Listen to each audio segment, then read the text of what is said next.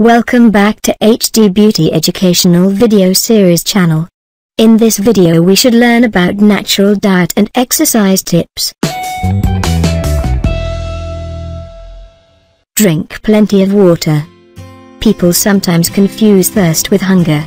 You can end up consuming extra calories when a glass of water is really what you need. Eat plenty of fruit and vegetable.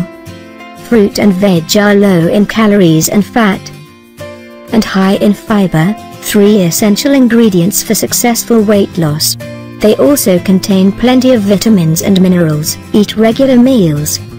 Eating at regular times during the day helps burn calories at a faster rate. It also reduces the temptation to snack on foods high in fat and sugar. Don't skip breakfast. Skipping breakfast won't help you lose weight. You could miss out on essential nutrients and you may end up snacking more throughout the day because you feel hungry. Use a smaller plate. Using smaller plates can help you eat smaller portions. By using smaller plates and bowls, you may be able to gradually get used to eating smaller portions without going hungry. It takes about 20 minutes for the stomach to tell the brain it's full. So eat slowly and stop eating before you feel full. I hope these tips can help you. Do you know any other effective remedies which for you please share with us.